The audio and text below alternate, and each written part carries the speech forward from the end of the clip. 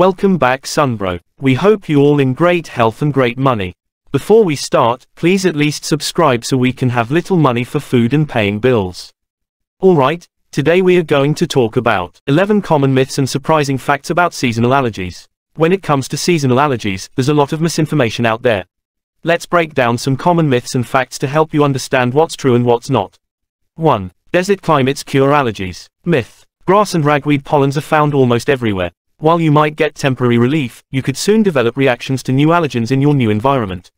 2. Cut flowers usually trigger allergies. Myth. Surprisingly, very few people have allergic reactions to a bouquet of flowers. The real culprits are pollens from trees, grasses, and weeds, which you typically wouldn't put in a vase at home.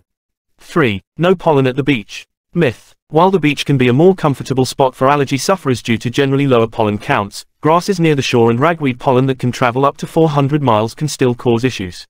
4. You can predict bad allergy days by pollen counts. Fact. Pollen counts measure the amount of pollen in the air over a period of time. High counts mean you're more likely to experience symptoms, so checking the pollen count can help you plan your day.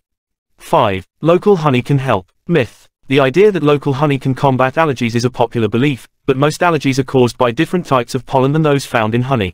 So while honey is delicious, it likely won't help your allergy symptoms. 6. Your seasonal allergies will go away as you grow up. Myth. Unfortunately, most kids do not outgrow their seasonal allergies. Studies show that the majority of children with hay fever still have it years later, although some may experience an improvement in symptoms.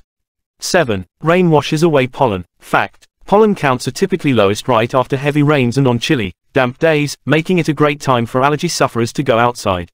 They peak between 10 a.m. and 4 p.m., especially on hot, dry, and windy days.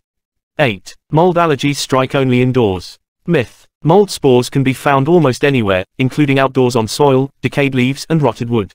Mold is especially prevalent in damp weather, and allergic reactions are most common in the summer. 9. Hay fever comes from hay. Myth. Despite its name, hay fever isn't caused by hay, nor is it a fever. It's typically caused by pollens from trees, grasses, and weeds, as well as mold spores. While rural areas can trigger more reactions, growing up on a farm might actually reduce the likelihood of developing allergies.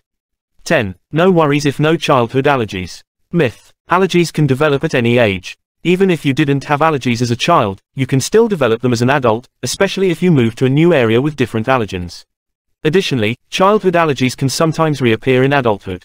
11. Allergy shots may help. Fact. Allergy shots can significantly reduce reactions for some people, especially those with severe allergies or multiple triggers. There are also sublingual treatments that work similarly. Sticking to the treatment plan is essential for the best results. Understanding these myths and facts can help you manage your seasonal allergies more effectively. While there's no cure-all solution, knowing what to expect and how to handle your symptoms can make a big difference in your daily life. Thanks for watching, Sunbro. Please subscribe, like, comment, and share if you find this helpful. Come again to our next meeting Sunbro.